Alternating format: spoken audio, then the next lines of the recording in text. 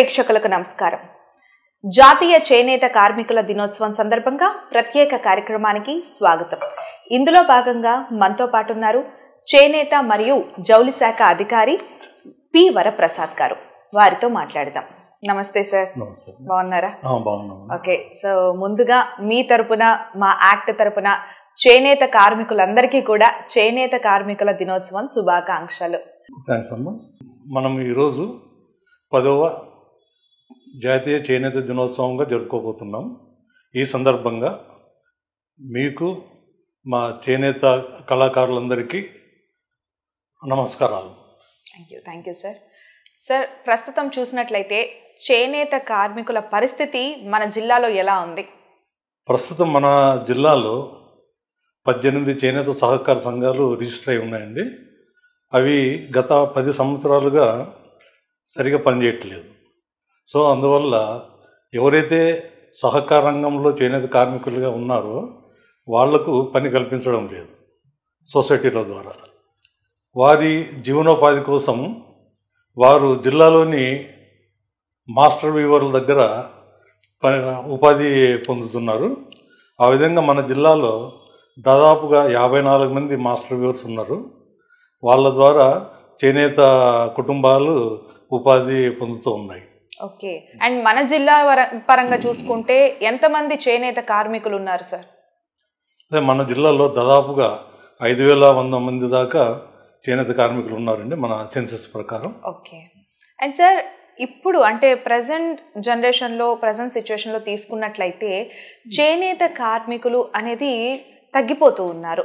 So ఎందువలన అంటారు? దీని మీద మీ అభిప్రాయం ఏంటి?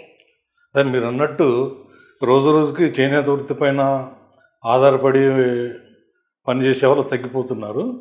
దానికి ముఖ్య కారణం అన్ని వర్గాలతో పాటు చేనేత వర్గం వారికి కూడా విద్య పైన అవగాహన రావడం విద్య యొక్క ప్రాముఖ్యతను తెలుసుకోవడం వల్ల అందరూ బాగా చదువుకుంటున్నారు. మంచి మంచి ఉద్యోగాలు చేస్తూ ఉపాధి కోసం వేరే ఊర్లకు వెళ్తున్నారు. సో ఎప్పుడైతే వీళ్ళకి ఉద్యోగ అవకాశాలు పెరిగాయో ఉద్యోగ అవకాశాలు కూడా వస్తున్నాయి. దాంతో ఈ వృత్తిపైన ఆధారపడాల్సిన అవసరం లేదు.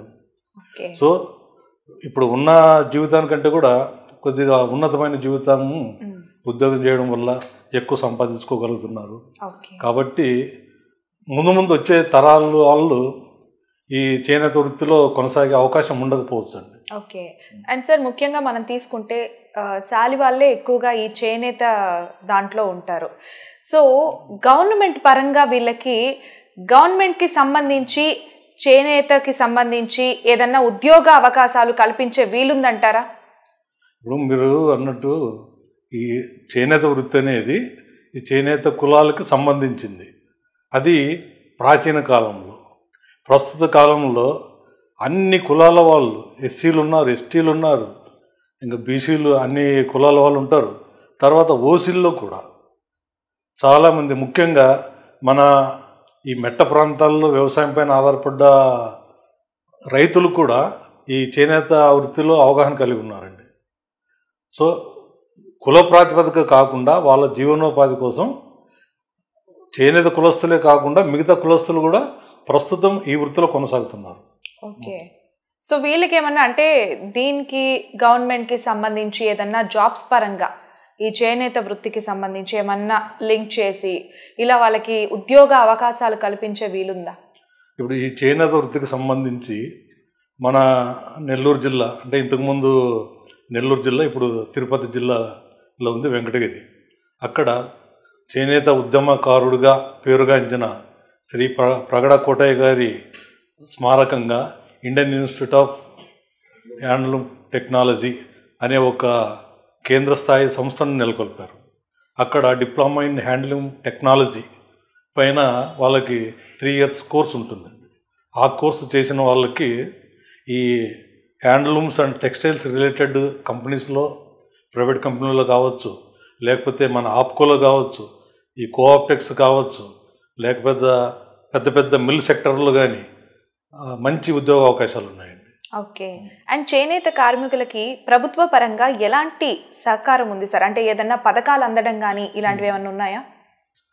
చేనేత కార్మికుల కోసం అనేక సంక్షేమ అభివృద్ధి పథకాలని రాష్ట్ర కేంద్ర ప్రభుత్వాలు రెండు కూడా ఇంప్లిమెంట్ చేస్తున్నాయి. సో ఇప్పుడు మన రాష్ట్ర పథకాల వరకు అయితే పెన్షన్ పథకం ఒకటి ఎవరైతే యాభై సంవత్సరాలు పూర్తయిన చేనేత కార్మికులు ఉంటారో వాళ్ళందరికీ పెన్షన్ వస్తుంది. అసలు ఈ వయోపరిమితి తగ్గింపు అనేది రాష్ట్రంలో కేవలం రెండే కులాల వాళ్ళకి రెండే కుల వృత్తుల వాళ్ళకే ఉంది. మిగతా వాళ్ళకంతా అరవై సంవత్సరాల తర్వాతనే వస్తాయి. చేనేత కార్మికులు ఒకరైతే కల్లుగిద్ద కార్మికులు. వీరి వృత్తి కొద్దిగా క్లిష్టమైన వృత్తి అనే ఉద్దేశంతో ఆ వయోపరిమితిని తగ్గించి యాభై సంవత్సరాలకే వృద్ధాప్య పెన్షన్ ఇచ్చే అవకాశాలు ఉంది ఈ- ఈ విధంగా మన జిల్లాలో దాదాపుగా మూడు వేల రెండు వందల పదిహేడు మంది చేనేత కార్మికులకు నెల నెల నాలుగు వేల పెన్షన్గా వాళ్ళు మంజూరు. చేస్తున్నారు. అంటే దాదాపుగా ఒక కోటి ఇరవై ఎనిమిది లక్షల రూపాయల దాకా ప్రతి నెల. పెన్షన్ల రూపంగా చేనేత కార్మికులకు అందుతుంది. తర్వాత కేంద్ర ప్రభుత్వ పథకాలు కూడా ఉన్నాయి. కేంద్ర ప్రభుత్వం అంటే వీవర్ ముద్రా స్కీమ్. చేనేత ముద్ర. ఈ పథకం ద్వారా కార్మికునికి కావలసిన పెట్టుబడి సాయంగా తగిన సొమ్ముని బ్యాంకుల ద్వారా రుణాలు ఇప్పిస్తాం. దాన్ని చేనేత ముద్ర పథకం అంటారు. ఆ పథకంలో యాభై వేల రూపాయల దాకా బ్యాంకులు ఏ ఏవైనా ఈ ప్రభుత్వ రంగ బ్యాంకుల్లో వాళ్ళకి రుణాలు మంజూరు చేసే అవకాశం ఉంటుంది. ఆ మంజూరు కోసం మేము రికమెండ్ చేస్తాం. సో దాంట్లో ఆ యాభై వేలలో ఇరవై శాతం సబ్సిడీ అంటే పదివేల రూపాయలని కేంద్ర ప్రభుత్వం సబ్సిడీగా అందజేస్తుంది. ఓకే. అండ్ సార్ ఇప్పుడు మారుతున్న టెక్నాలజీ అలాగే ఆర్టిఫిషియల్ ఇంటెలిజెన్స్ చూసే రోజులు అయిపోయింది మనది. సో చేనేతలకి ఈ మెకానికల్ మగ్గంలు ఇవన్నీ ఏదన్నా కూడా మీరు అవేర్నెస్ కార్యక్రమాలు ఇవన్నీ కల్పిస్తున్నారా? అంటే ఇప్పుడు మనకు చేనేత కార్మికుల గురించి మాట్లాడేటప్పుడు ఆ మరమగ్గాల్లో ప్రసక్తి రాదండి. అంటే ఇప్పుడు పవర్లూమ్ సెక్టర్ కూడా ఉంటుంది. అక్కడ ఈ మనుషులతో అక్కర్లేదు. మనం రన్ చేసేస్తే వచ్చేస్తుంటుంది. కాకపోతే ఇది చేనేత పరిశ్రమ అనేది అది మన దేశ వారసత్వ సంపద అది. సో చేనేత అంటే వ్యక్తి ద్వారానే ఉత్పత్తి అయితేనే ఆ గుడ్డకి యొక్క మన్నిక బాగుంటుంది. ఆ ఉద్దేశంతో చేనేతలకు ఉన్న పథకాలు ఈ మరమగ్గ కార్మికులకు ఉండవు. ఓకే. సార్ మన రాష్ట్రంలో చూసినట్లయితే ఎక్కువగా పవర్ మగ్గ మగ్గాల సైడే మొగ్గు చూపుతున్నారు చాలా మంది సో మన జిల్లా సైడ్ కూడా అవేమన్నా వచ్చే అవకాశాలు ఉన్నాయా ఎక్కువ శాతం? అంటే ప్రస్తుతానికైతే లేదండి. మన రాష్ట్రంలో మరమగ్గాలు ఎక్కువ భాగం అనంతపురం జిల్లా తర్వాత కడప జిల్లాలో ఉంటాయి కర్నూలులో ఉన్నాయి. ఎందుకంటే ఎక్కడైతే కర్ణాటక తమిళనాడు బార్డర్కు దగ్గరగా ఉన్నాయో ఆ జిల్లాల్లో కాస్త పవర్లూమ్స్ ఎక్కువగా ఉండే అవకాశం ఉంది. మన జిల్లాలో అదృష్టవశాత్తు ఎవరు ఆ వైపు దృష్టి సారించలేదు. ఓకే. అండ్ సార్ చేనేత కార్మికులని ముందుకు తీసుకెళ్ళేందుకు మీ వంతుగా ఎలాంటి ప్రణాళికతో ముందుకెళ్తున్నారు? ఇప్పుడు మన జిల్లాలో ఇంతకుముందు చెప్పినట్టు పద్దెనిమిది సహకార సంఘాలు రిజిస్టర్ అయి ఉన్నాయి. కాకపోతే కొన్ని అనివార్య కారణాల వల్ల అవి గత పది సంవత్సరాలుగా పనిచేయట్లేదు. సో మామూలుగా మా మేము ఒక సంఘాన్ని ఏర్పాటు చేయాలంటే కనీసం వంద మంది చేనేత కార్మికులు ఒక ఏరియా ఆపరేషన్లో నివసిస్తూ ఉండాలి. ఓకే. సో ఇప్పుడు ఈ వృత్తిపైన ఆధారపడే వాళ్ళు తక్కువ కావడం వల్ల అంటే ఉద్యోగరీత్యా వాళ్ళు పై చదువులు చదువుకొని ఉద్యోగాలు వచ్చి స్థిరపడిపోవడం వల్ల ఈ కుల వృత్తి పైన కాస్త ఫోకస్ తగ్గింది. సో దాంతో ఈ జన సామర్థ్యం ఉన్న చేనేత గ్రామాలు తగ్గిపోయాయి. అయినా పూర్తిగా అయితే నశించలేదు. కాబట్టి ఈ పరిస్థితుల్లో ఉన్న వాళ్ళకు కుల వృత్తిని ఆధారంగా చేసుకొని ఉన్న వాళ్ళకు సహాయం చేయాలనే ఉద్దేశంతో మా కమిషనర్ గారు ఆ మినిమం ఉండవలసిన సంఖ్యను వంద మెంబర్ల నుండి యాభై మెంబర్లకు తగ్గించారు. సో ఇప్పుడు కేవలం ఎక్కడైతే యాభై మంది కూడి మగ్గాలు పెట్టుకొని తమ ఇంట్లో పనిచేసుకున్నారో అటువంటి చోట్ల కూడా మేము కొత్త సంఘాలను ఏర్పాటు చేయడానికి నిర్ణయించుకున్నాం. ఆ ప్రకారం మేము ముందుకెళ్తున్నాం. ఓకే. అండ్ సార్ చేనేత కార్మికులు ముఖ్యంగా మీ దగ్గరికి తీసుకొచ్చే సమస్యలు ఏమేమి ఉంటాయి? అదే ముఖ్యంగా ఇప్పుడు యాభై సంవత్సరాలు అయిపోయిన తర్వాత వాళ్ళకి పెన్షన్కి ఎలిజిబిలిటీ వస్తుంది. వాళ్ళకి పెన్షన్కి అర్హత వచ్చినట్టుగా మేము ధృవీకరించాలి. సో కాబట్టి మాకు యాభై సంవత్సరాలు అయినాయి. చేనేత పెన్షన్ కోసం మాకు మంజూరుకు అనుమతించండి అని వాళ్ళు మా దగ్గరకు వస్తారు. సో దానికి మన మనకు వాళ్ళ వయసు నిర్ధారణ.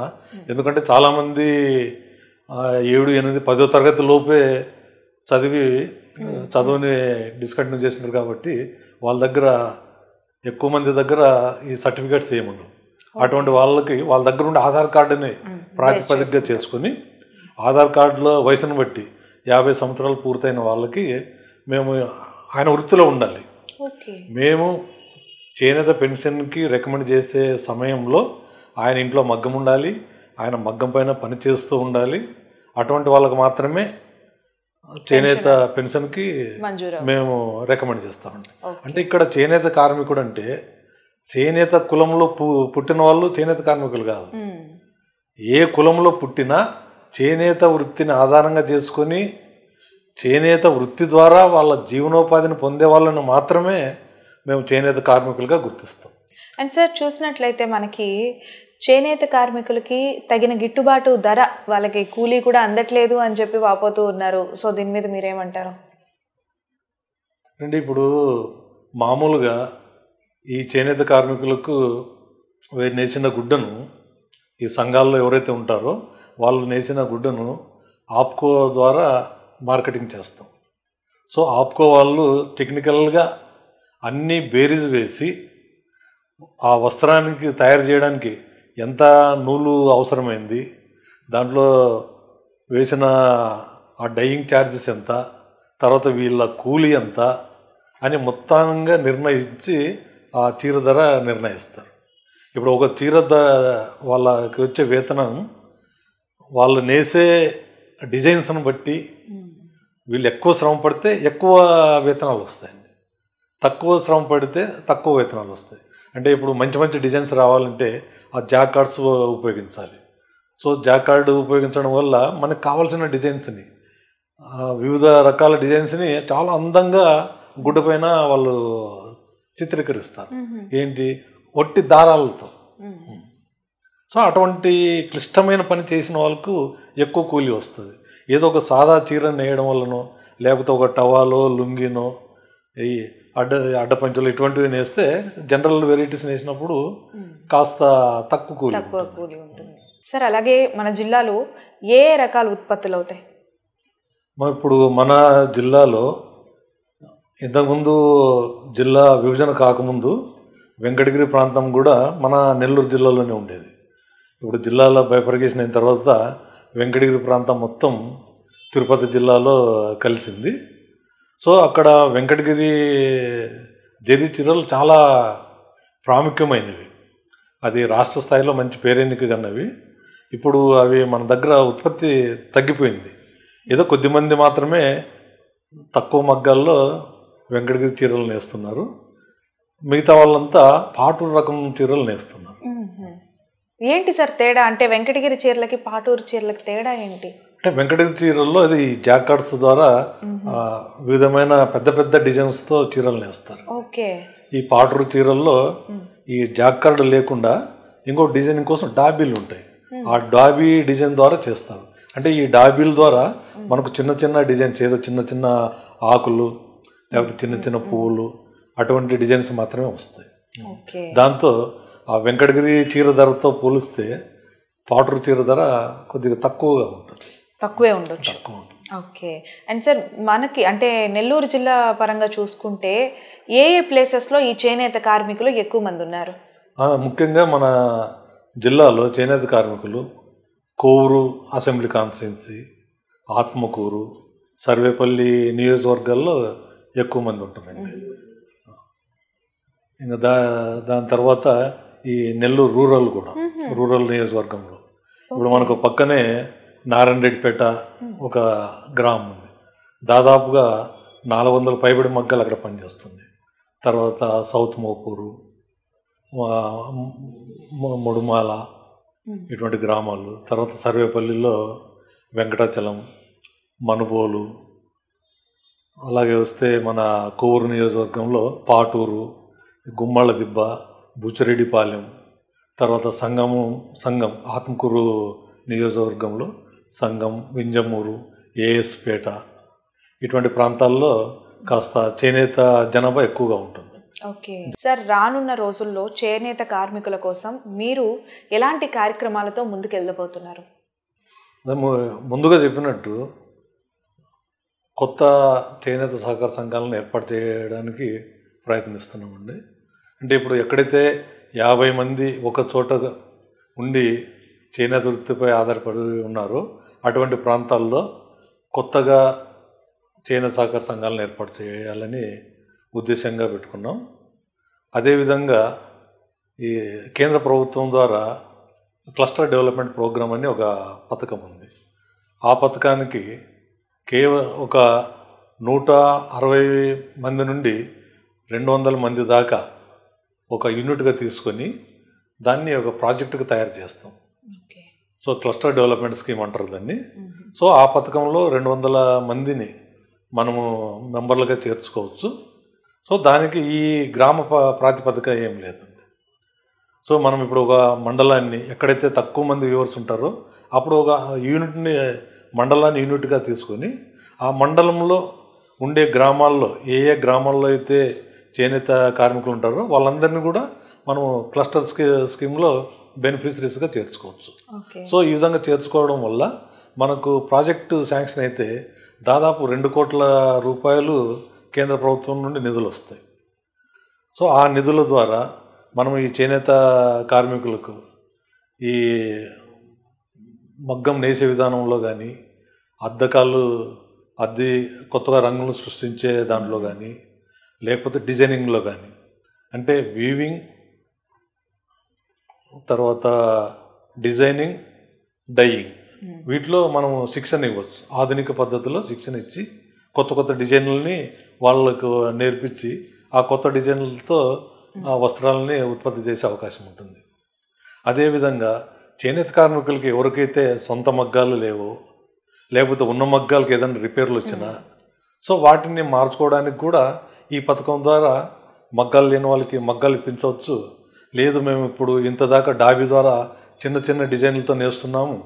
ఇప్పుడు ఈ ట్రైనింగ్ ఇచ్చారు కదా. కాబట్టి మేము జాక్ కార్డ్స్ పెట్టుకుంటే మాకు కొత్త డిజైన్లు పెద్ద డిజైన్స్ వస్తాయి. సో ఆ విధంగా మాకు ఉపాధి పెరుగుతుంది ఆదాయం పెరుగుతుంది అనే వాళ్ళకు ఈ జాక్ కార్డ్స్ వాటిని సప్లై చేయొచ్చు. అదేవిధంగా మగ్గం పరికరాలు చిన్న చిన్న పార్ట్స్ ఉంటాయండి. దాన్ని రీడ్స్ అంటారు ఆ స్లైడ్స్ అంటారు. తర్వాత రీడ్స్ హీల్స్ ఇటువంటి చిన్న చిన్న పరికరాలు ఏమన్నా ఉన్నా వాటిని కూడా ఇప్పించవచ్చు. ఇప్పుడు గ్రామాల్లో మీకు కరెంటు కోతలు ఎక్కువగా ఉంటాయి. వాళ్ళేమో చిన్న పూరి గుడిసెల్లోనో లేకపోతే పాత మిద్దెల్లోనో ఉంటారు. అటువంటప్పుడు కరెంటు కోతలు ఎక్కువ ఉండడం వల్ల వాళ్ళకి కనిపించవు. ఇదేమో కరెంట్ రాదు. కరెంట్ ఉంటేనే వాళ్ళు బాగా పని చేసుకుంటారు. అటువంటి వాళ్ళకి ఈ సోలార్ లైటింగ్ సిస్టమ్స్ కూడా ఈ పథకం ద్వారా మనం ఇప్పించవచ్చు. ఇన్ని ప్రయోజనాలు ఆ క్లస్టర్ డెవలప్మెంట్ ప్రోగ్రాం ద్వారా మనం చేనేత కార్మికులకు అందించవచ్చండి. దీంట్లో ఈ ప పనిముట్లకు సంబంధించి ఏ పనిముట్టు తీసుకున్నా దాంట్లో పదో వంతు బెనిఫిషరీ కాంట్రిబ్యూషన్ ఉంటుంది. మిగతా తొంభై శాతాన్ని ప్రభుత్వాలే భరిస్తాయి. సో వీళ్ళు కావాల్సిన పనిముట్టుకు సంబంధించిన ధరలు పది శాతం ధరని వీళ్ళు చెల్లించాల్సి ఉంటుంది. అదేవిధంగా ఎవరికైతే సొంత స్థలం ఉండి ఇంటి దగ్గర. దాదాపుగా ఇరవై ఐదు చదరపు గజాల స్థలం ఉంటే అటువంటి వాళ్ళు మగ్గం నేర్చుకోవడానికి ప్రత్యేకించి ఒక వర్క్షీట్ని కూడా నిర్మిస్తారు. దాదాపుగా లక్ష ఇరవై వేల రూపాయలు అవుతుంది ఒక్క వర్క్షెడ్ యూనిట్ కాస్ట్. ఆ లక్ష ఇరవై వేలు మొత్తాన్ని కేంద్ర ప్రభుత్వం సబ్సిడీగా ఇస్తుంది. దీనివల్ల వాళ్ళ ఇంటి దగ్గర ఉన్నట్టుగా ఉంటుంది. ప్లస్ ఇంట్లో విషయాలకు సంబంధం లేకుండా వాళ్ళగా పనికి ఎలాంటి డిస్టర్బెన్స్ లేకుండా. పని చేసుకునే అవకాశం ఉంటుంది. సో ఆ బెనిఫిట్ని కూడా ఈ పథకం ద్వారా చేయొచ్చండి. సో ఈ ఈ సంవత్సరానికి కనీసం. మూడు కొత్త సంఘాలను ఏర్పాటు చేయడం అదేవిధంగా మూడు క్లస్టర్స్ని ఏర్పాటు చేయడాన్ని మేము టార్గెట్గా పెట్టుకున్నాం. ఆ దిశగా ప్రయత్నిస్తున్నాం. ఓకే. అండ్ ఈ కార్యక్రమం సందర్భంగా మీరు చేనేత కార్మికులకి ఏదైనా చెప్పాలనుకుంటున్నారా? సరైన విద్యా అవకాశాలు లేక ఉపాధి కోసం ఇబ్బంది పడే పరిస్థితి ఉన్నప్పుడు మీ కుల వృత్తిని నమ్ముకొని జీవించే వాళ్ళకి ప్రభుత్వం కల్పించే పథకాల ద్వారా లబ్ధి పొందవచ్చు సో ఆ అవకాశాన్ని సద్వినియోగం చేసుకోవాలి అని చేనేత కళాకారులందరికీ విజ్ఞప్తి చేస్తున్నామండి మా ఆఫీస్ తరఫున వాళ్ళ అవసరాలు ఏదైనా ఉన్నా మా కార్యాలయాన్ని సంప్రదించవచ్చు మా కార్యాలయం స్టోన్ హౌస్ పేట నెల్లూరులోనే ఉంది. చాలామందికి తెలుసు కూడా. అంటే చేనేత కార్మికులు ఏదైనా అవసరం ఉంటే మా కార్యాలయాన్ని తరచుగా సంప్రదిస్తూ ఉంటారు. థ్యాంక్ యూ సార్ థ్యాంక్స్ అమ్మా. అదేవిధంగా జాతీయ చేనేత దినో దినోత్సవం సందర్భంగా మరి ఒకసారి చేనేత కళాకారులకు చేనేత ప్రతినిధులకు అసోసియేషన్ అధ్యక్షులకు అందరికీ నా నమస్కారాలు శుభాకాంక్షలు తెలియజేస్తున్నాను. Thank you sir yes so Vyas చూశారు కదా? చేనేత కార్మికుల యొక్క శ్రమ గురించి వారికి అందే పథకాల గురించి ఎంతో చక్కగా వివరించారు మన వరప్రసాద్ గారు. సో మీకు చేనేత కార్మికులకి ఎలాంటి కష్టం వచ్చినా ఏదైనా అవసరం వచ్చినా సరే సో మీరు చేనేత మరియు జౌలి శాఖ అధికారి అయిన పి వరప్రసాద్ గారిని సంప్రదించవచ్చు మరొక్కసారి మా యాక్ట్ తరపు నుంచి చేనేత కార్మికులందరికీ చేనేత కార్మికుల దినోత్సవ శుభాకాంక్షలు. ఇది వాటి ప్రత్యేక కార్యక్రమం. మరో ప్రత్యేక కార్యక్రమంతో మళ్ళీ కలుద్దాం. అంతవరకు సెలవు. నమస్కారం.